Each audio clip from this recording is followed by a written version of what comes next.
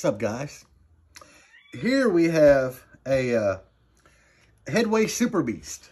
This thing from battery hookup was $2.99 the time you pay shipping and use discount code DIY or audio for 5% off. You're going to pay about $356 for this thing shipped. It's 24 volt. It has 48 headway cells in it. So it's 24 here, 24 underneath. Uh, I got it in the mail the other day, decided to take it apart. These are like all the bus bars that it had on it for 24 volts. So my plan is I'm gonna build two 48 amp hour banks with this. These 24 in the wife's edge, the other 24 in the uh, black Jeep. Each one of them should support like 5K, probably somewhere around there. But um, I tested it before I took it apart with my multimeter, and lo and behold, if it wasn't right at 26 volt. And I know the cells are all balanced because this thing has an onboard balancer already. So I have no doubt that all the cells are good. It's just, you know, you had this on here. Uh, that way you have to take it, like all this off. Long screws holding it together. I've never taken one apart before, but it has some cool stuff in it. Like I had a big fuse over here. Uh, it has a huge industrial relay right here. I probed one side of it had 26 volt. The other side had nothing. So I know that's a switch to turn it on and off. I don't have no idea what it was used for, but right now, this is probably the best deal for lithium in car audio. Because you're getting 300, 350 bucks shipped for a 98 amp hour bank. I mean, all you gotta do is use some bars.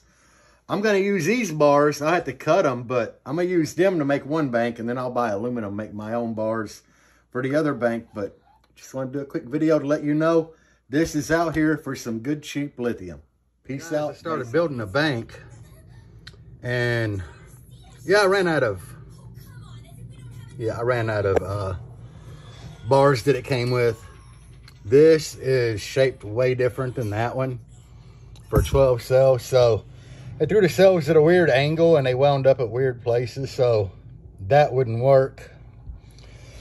And it had cells put together with these things in that module. So I built this. And uh, what's cool is it's got these little plates that was in that module factory for six cells per bank. So with the end-to-end -end connectors, it worked perfect. And it's got these tabs on it to hook the balancer to.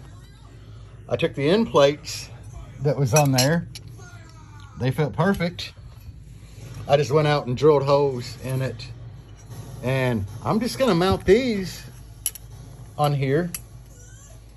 And that'll give me somewhere to mount power wire, ground wire. And I'm getting ready to put the balancer on it right now. So I think I got something going here until I can get some bars to make something for that. But yeah, I thought this was pretty ingenious because this was just a last minute thought.